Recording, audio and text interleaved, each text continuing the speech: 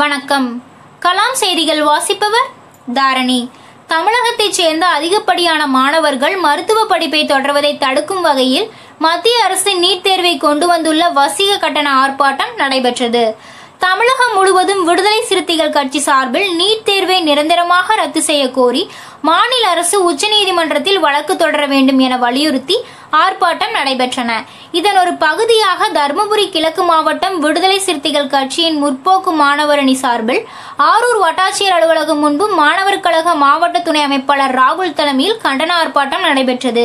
இந்த ஆர்ப்பாட்டத்தில் தமிழகத்தைச் சேர்ந்த அதிகப்படியான மாணவர்கள் மருத்துவ படிப்பை தொடர்வதை தடுக்கும் வகையில் மத்திய அரசு நீட் தேர்வு திட்டத்தை கொண்டு வந்துள்ளது. இந்த நீட் தேர்வினால் தாழ்த்தப்பட்டோர் சிறுபான்மையின மக்கள் பாதிக்கப்படுகின்றனர்.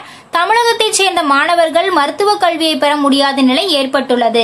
எனவே தமிழக அரசு இத்திட்டத்தை தடுக்கவும் மத்திய அரசு மீது உச்சநீதிமன்றத்தில் வழக்கு தொடுக்க வேண்டும் என கோஷம் எழுப்பி கண்டன ஆர்ப்பாட்டம் செய்தனர்.